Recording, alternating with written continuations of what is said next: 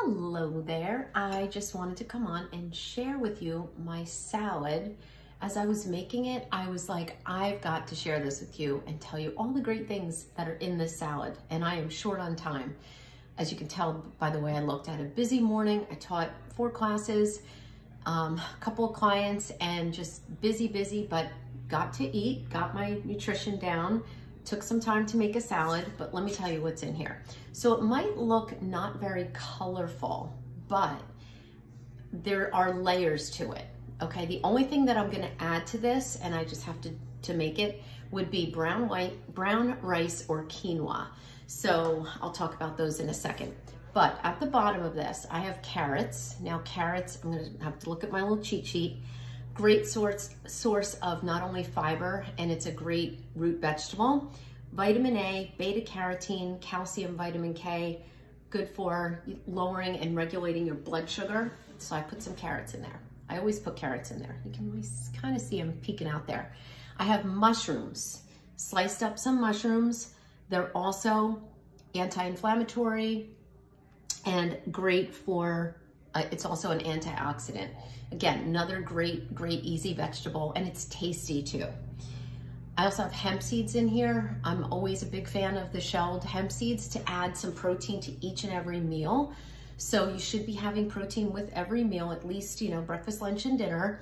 Um, you can sprinkle on yogurt. I put it in every salad I make and every yogurt I have because it adds so much protein to, you know, people who struggle with, I don't eat enough protein it can get that protein in there at each meal. You can even put it in a shake or something like that. Um, but I always sprinkle a little bit on the salad. Also a good source of fiber. And it just makes you feel fuller and it has a really nutty flavor. So the shelled hemp seeds are great. I get them at Trader Joe's. Um, also, I have blueberries in here. I mean, don't get me started on blueberries. They're just uh, excellent for like everything um, your skin, your hair, your nails, your bladder, your heart, um, but they are loaded with um, iron, calcium, magnesium, better sleep, zinc, vitamin K, vitamin C. So good for healthy heart, healthy bones. Really just can't say enough. And they're sweet and they're, um, they just, they just really help with like inflammation in the body and they definitely help you keep, they keep you fuller longer. So because they ha have the fiber in there. So definitely love the blueberries. I also have, what else do I have in here? Arugula and romaine lettuce. So I say anything, you know, that you have. If Even if you like iceberg lettuce, I know I love the taste of it. Um, it has a high water content, so it might not be as nutrient dense as like your arugula or your spinach, but it's still it's like 97% water. So it's great to get your, you know, like watermelon is, like you just get a lot of water in that. So that's a great benefit. Plus it's not candy or sugar. So, you know, that's a, that's a good thing. Um, I also have sprinkled a little bit of cashews for a little bit of crunch. So I'm a big almond person, but almond is usually like my go-to protein and crunch in like yogurt or something. I just needed to mix it up a little bit. So I just got some cashews. Nuts are also a healthy fat. They're gonna keep you fuller longer. Almonds probably have more fiber than cashews, but they're tasty and they're not as um, bad for you as some other nuts. Um, what else do I have in here? I'm looking at my list because there's so many things in here. Um, oh, also cashews. Another thing, they do have magnesium and zinc. Also, there have been a lot of studies that, you know, a diet rich in magnesium helps you sleep better. Um, magnesium is a hard vitamin to test for because it's, um, it's not really in your blood. It's more like in your bones and um, organs. So it, you can't really do a blood test. So just eat things, I think, with a lot of magnesium. Like I eat enough almonds. They also have magnesium that can kind of up that magnesium level as well. What else do I have in here?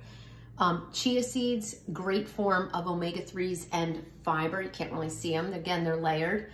And then I have a half of an avocado on top with a little pepper crackled on top. Half an avocado, that's gonna be, I can't, I mean, can't say enough about avocados. Healthy fat, keeps you fuller longer, loaded with fiber. Um, again, it checks those boxes. And olive oil. I just sprinkled a little bit of olive oil. Um, I always have olive oil in my salad. That's just my go-to. I don't really like the taste of dressing. Sometimes I'll put a vinegar and olive oil or I'll put a little lemon in there, but can't say enough. Olive oil clicks that, checks that box for the healthy, healthy fat. Um, it also is good to cook with and it doesn't, you know, it's probably the healthiest oil out there. So there's my salad. I can't wait to eat it. And I was waiting. I'm like, okay, I'm gonna wait and I'm gonna film this. Um, so again, the only thing I'm, I'm gonna be adding to this, and doesn't that look good? But all the color is on the bottom, basically. Um, and I may even have some apples in there. I don't even know. So it might be a little red under there too. So again, eat that rainbow. Um, the only thing I would add to it, like I said, is I'm gonna add some quinoa because that's, it's one of those like things, foods that doubles, it's a protein, but it's also a carb. So it's going to fill you up um, and protein in every meal will keep you fuller longer so you're less likely to snack. Um, it just sustains you a little bit. I know when I have a Greek yogurt, I, am full for hours after. I load it with, you know, some fruit, some apples, some blueberries, a handful of nuts, and there, there's your little sweet and savory. Um, and then the only other thing I would would add to this, if I wasn't doing the quinoa, would be brown rice. If you want, like, if you want a salad, like I want to I want to get some heartiness in there. Some brown rice would be good, or brown pasta. I don't like pasta in my salads, but brown rice I would put in there, or quinoa. So um, that kind of is your whole plate there. So half your plate should be fruits um, and vegetables. Well, you don't have to put fruit in dinner, but you know what I'm saying. Fill it with vegetables, green vegetables, your root vegetables, um, a quarter of your plate, a little bit of protein. And then, um, you know, you're gonna have your carbs, you know, something to fill you up, maybe um, sweet potato, maybe brown rice, quinoa, whole wheat pasta, things like that. That is a, a complete plate and then like a little bit of a healthy fat, you know, your olive oil or if you're having breakfast, you know, you could put a little peanut butter or almond butter. That could be your healthy fat. Um, the ideas are endless, um, but you want to make sure you keep that balance throughout the day to keep you functioning. You know, we all have that fog when we're hungry, when we don't feel we had enough water. Make sure you're drinking your water. Um, and there's like your perfect plate.